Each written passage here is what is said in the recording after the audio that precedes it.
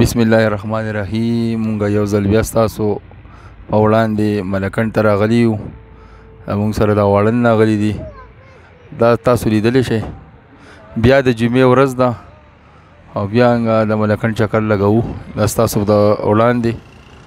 دا په ډېر تعداد سره کسان ناغلي دي تاسو لیدلی شئ او ماشاءالله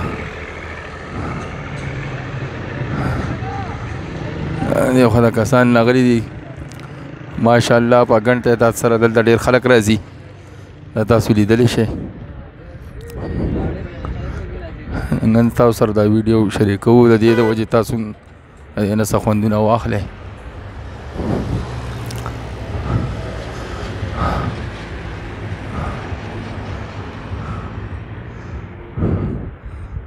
خدا ډیر خطرناک موړ لې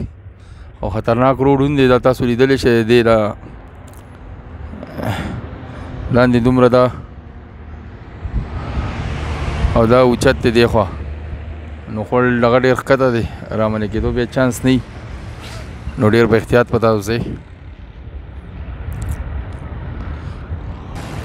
دا تاسو یې نه ټریکټر یې پکې نه وانی دي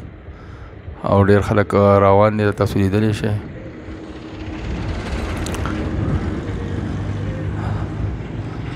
تاسو لیدلی شئ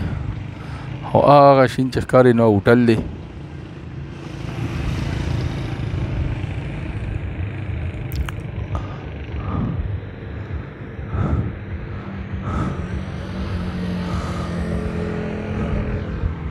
ازو اجازه ده لم ان شاء الله